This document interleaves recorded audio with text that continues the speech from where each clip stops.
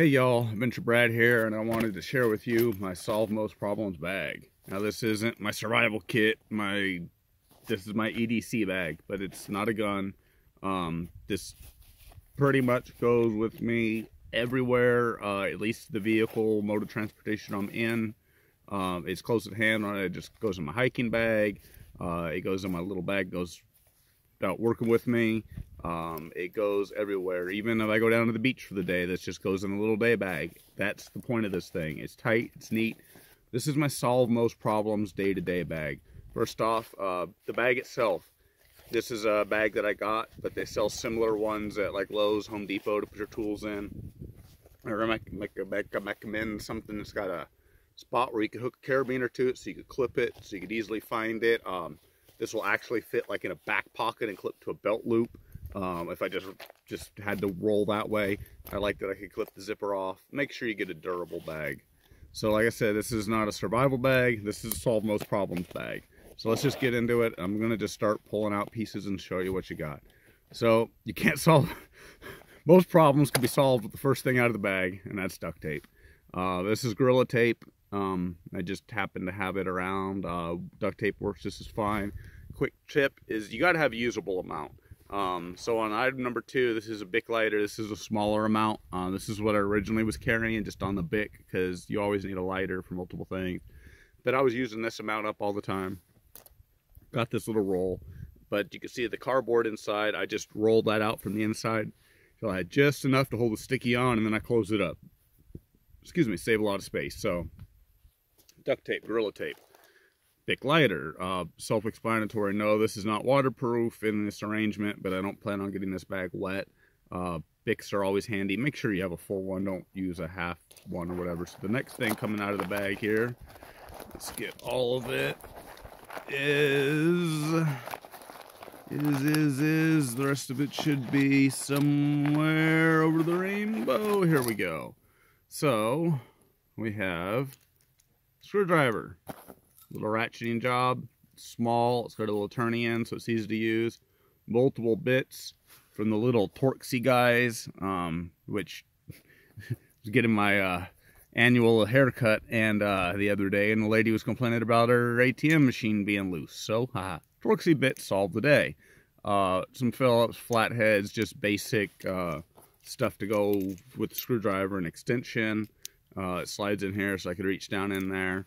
That's, that's it's a screwdriver. It's handy for all kinds of stuff. Uh, along the lines of the next thing, Leatherman. That's kind of obvious too. It gives you pliers. It gives you this particular model. Let's just pull it all out. Is the Wingman, which is not a super tool, but I find it's a nice balance. Uh, it was my little pocket slider for the longest until we updated that. But we'll have another video on that soon uh, Phillips flathead, bottle opener, uh, can opener, which is, there's a difference. Yeah, it's got the little, the razor sharp there on the edge. That way you could actually open a can. Uh, that's way better than a, just a straight up bottle opener because um, bottle opener's annoying. That's a cardboard cutter. That's actually handy so you don't run up your main blade uh, killing cardboard. Uh, and in a survival situation, that could work as maybe a skinning tool in one direction, maybe a little bit less clumsy. The ruler, surprisingly or not, I actually have used, but it's short and non-incriminated. The file, that's, you know, it's a file, it's handy. So on the outside, I just have a serrated knife and scissors. Scissors are handy because then you can get nice little cuts. And like I said, day to day, you got to trim a piece of fabric, tidy something up, gasket material, you're fixing something, scissors are ultra nice. Along the same lines, four inch crescent wrench. Um, just, you could never have too many of these. Next in line, ibuprofen, because ibuprofen fixes problems. Rope. This is some Dyneema line. Um, it's about two wingspans, so approximately six feet or so uh, just daisy chained all up so I could easily pull it apart, but it's tight and easy out of the way. Um, it's like a 100 pound test, so doubled up. That's uh, 200 pound. That's enough to like, you know, lower something, pick something up, even 100 pounds, you could pick a bike out of a hole or do something stupid because I do stupid things like that. Uh, and that's kind of why it's in there.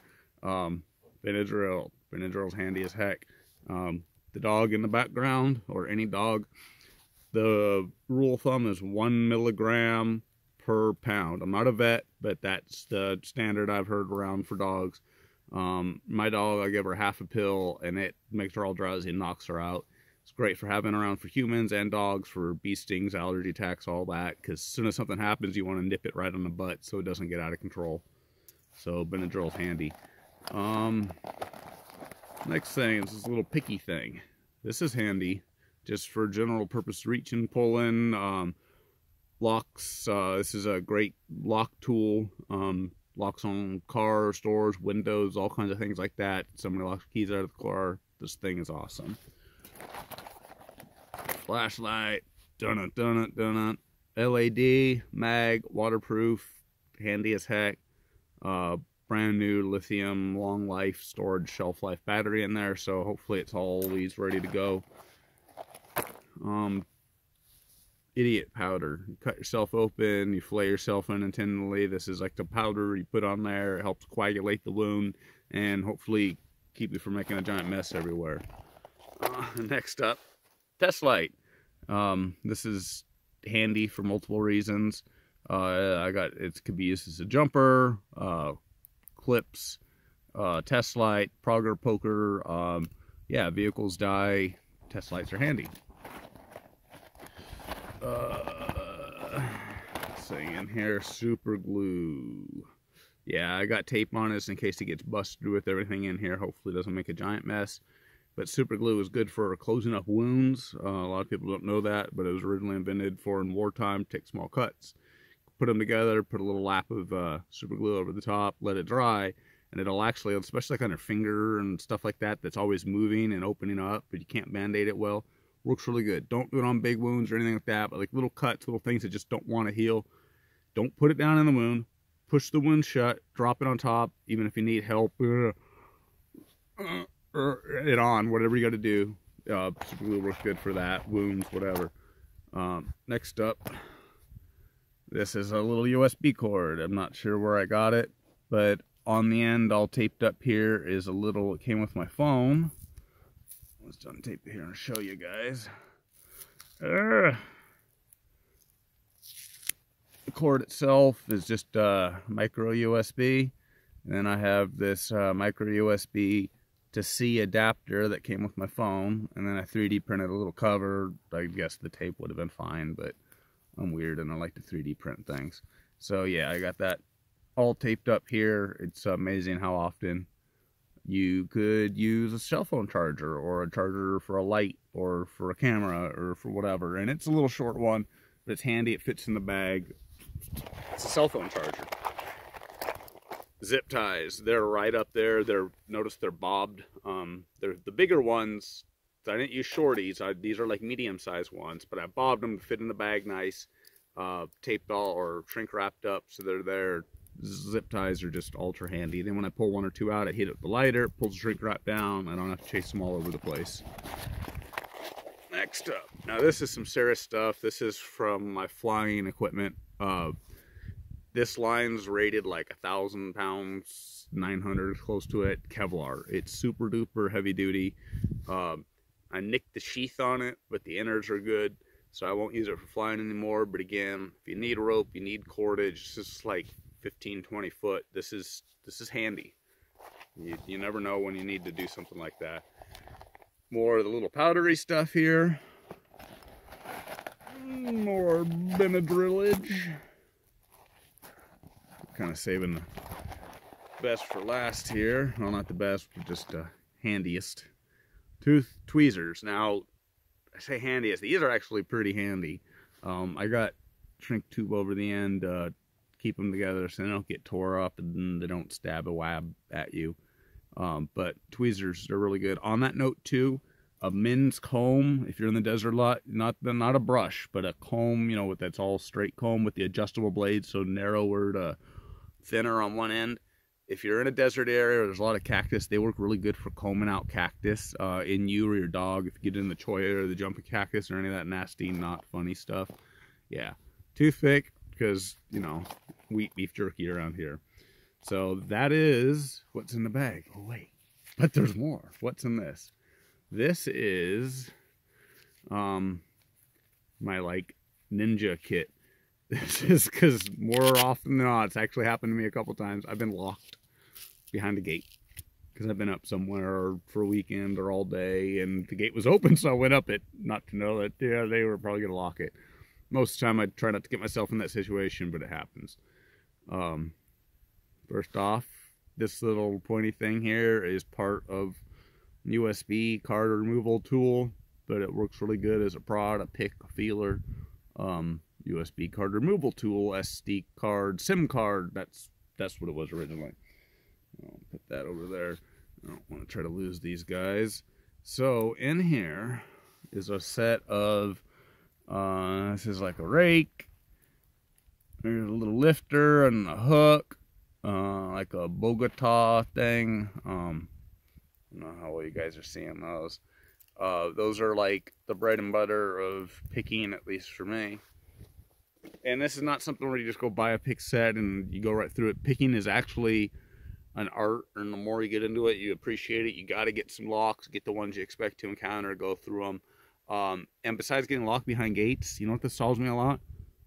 Work. I go out to customers places and they got a lock on something and they forgot to leave the key with so and so or so and so's not there or you end up whatever. And it's like well you either call a locksmith or i take it apart.